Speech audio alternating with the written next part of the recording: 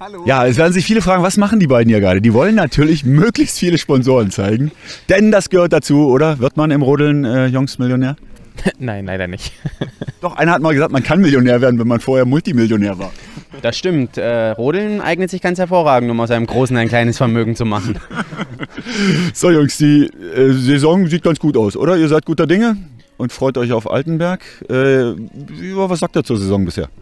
Ja, also es ist eine sehr spannende Saison, glaube ich. Ähm, wir haben es glücklicherweise wieder geschafft, ganz vorne mitspielen zu dürfen und wir freuen uns riesig jetzt hier auf das Rennen in Altenberg, weil ja, die meisten wissen das, äh, wir fühlen uns hier sehr zu Hause auch und der Ralf Mende macht mit seinem Team hier immer in der Regel eine sehr geile Bahn, wo es auch sehr viel Spaß macht zu fahren und ich bin sehr gespannt. Letztes Jahr, da war die Kurve 9 nicht ganz so unser Freund, da hat das nicht ganz so hingehauen.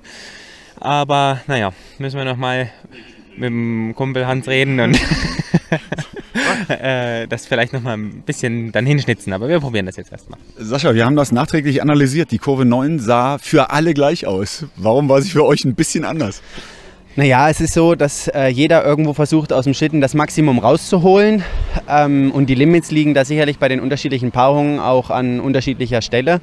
Und wir waren letztes Jahr, muss man sagen, was die Kurve 9 anbelangt, einfach ein bisschen übers, über den Zenit hinaus. Äh, und deswegen ging das dann wirklich sehr holprig aus der 9 für uns, auch rechts mit einer Bandentuschierung, wenn ich das richtig in Erinnerung habe.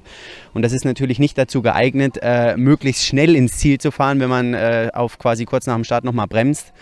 Ähm, und das wollen wir jetzt einfach dann anders machen und besser. Ähm, und deswegen sind wir auch ähm, voller Motivation, wieder auch nach ganz vorne zu greifen.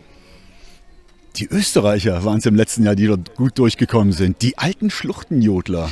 Habt ihr die dieses Jahr hier im Griff? Ja, wir werden es erleben. Äh, wir hatten ja nur noch kein Training hier. Und das ist natürlich sehr schwer zu sagen. Also man will da jetzt nicht irgendwie was Falsches vorwegnehmen. Äh, ich bin sehr gespannt. Ich weiß, dass wir sehr gut drauf sind. Ich bin gespannt, ob sie es auch sind. Sie haben letztes Jahr sind sie deutlich stärker in die Saison gestartet, muss ich sagen. Wer weiß, was die Weihnachtspause ihnen gut oder schlecht getan hat. Wir werden es erleben. Wir werden auf jeden Fall äh, es ihnen nicht leicht machen. Was gab es Weihnachten zu essen? Am Heiligabend oder wann willst du? Erzähl ruhig alles, was du gegessen hast. Auch Komm, bei uns ist ja Gewicht wichtig. ja, äh, man sieht das ja auch hier. Ne? ähm, äh, bei mir gab es Heringssalat mit Salzkartoffeln ähm, und ansonsten eigentlich nicht so üppig, auch wenn die Waage was anderes sagt.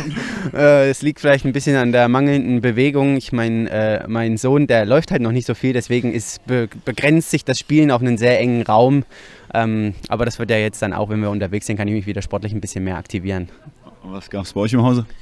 Ich hatte das Glück, dass meine Mama da doch sehr viel äh, tolle Sachen vorbereitet hat Wildschweinbraten und äh, ich weiß schon gar nicht mehr, was alles.